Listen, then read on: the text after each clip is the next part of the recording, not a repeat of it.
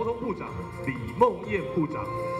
镁光灯闪不停，赖政府四月中揭晓第二波内阁名单，李梦燕榜上有名，赋予交通部长重任。技术官僚出身的李梦燕，当初也是从基层公务员做起。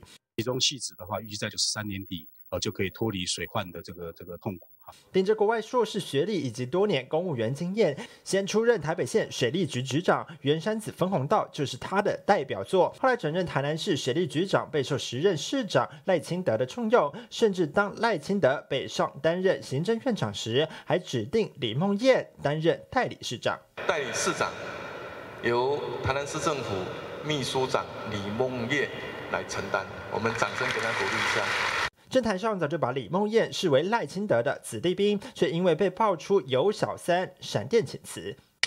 PTT 上一篇爆料文章有详细内容，还有李梦燕跟小三合照。事后更发现，爆料者不但是盗用账号，发文 IP 更远在国外，防止被追踪。专业的手法传出是冲着赖清德而来。目前都还看不出来是所谓的这个所谓的党内派系的斗争哦，只是呃接连哦被爆发的都是赖清德子弟兵，我想赖清德自己心里可能也会有点毛毛的。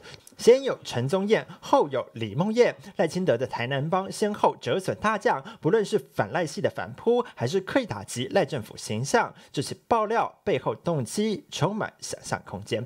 欢迎新闻陈彦凯庄平达台北参谋长。请订阅、按赞、分享环宇新闻 YouTube 频道，并开启小铃铛，及时掌握全球时事与最新趋势。